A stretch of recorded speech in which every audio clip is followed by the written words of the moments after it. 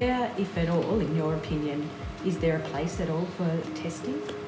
I think there is about a place for balance assessment because we won't gather data, but it just depends on the context of what's happening. Um, you know, we can't get away from testing. You go for a driver's license, you have a test, Yeah.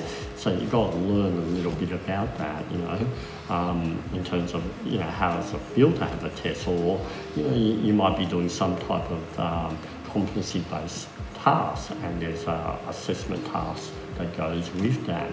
But the difference is that it's not a hit and miss. So I can sit my driving test as many times as I need. If I was in the industry and, and I missed that, I would, they would send me back and I would have to do a bit more work and then I could reset it. Sometimes with NAPLAN and things like that, it's a hit and miss sort of scenario. You only get one shot at it. Yeah.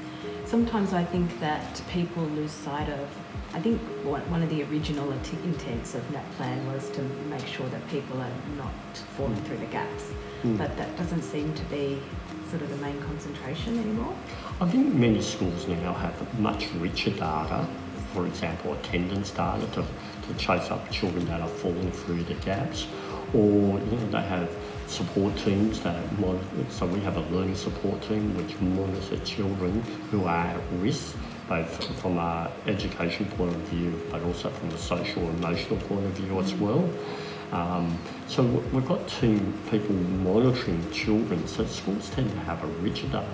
For many schools, when the NAPLAN results come back, it's not a surprise. So the question is why are we kind of still doing that? Well, I think we're shifting away from that paradigm of that, those sorts of um, assessment tasks, and we have to rethink about how we're going to go in terms of the future.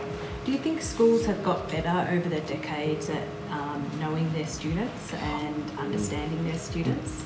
Well, one of the New South Wales public education um, focus right now is every student's known, valued and cared for. And I think many schools do that really well. There's a range of strategies, a broad range of strategies. There's no one way you can say, oh, if I do this, this will happen. It's like a range of strategies depending on the context. So for many schools, they might be tracking attendance, for example, to mm-hmm. make sure children aren't falling through the gaps in attendance. For some schools, they might be having personalised learning plans because some child is struggling at school, so we have to might have mentor programs or peer tutoring or um, extension programs. It's it's all those sorts of programs. So it's not one size fits all. So, you know, it's gone the days I think where everyone does the same thing every single day. Like let's draw a duck and everyone's duck looks exactly the same in an art class.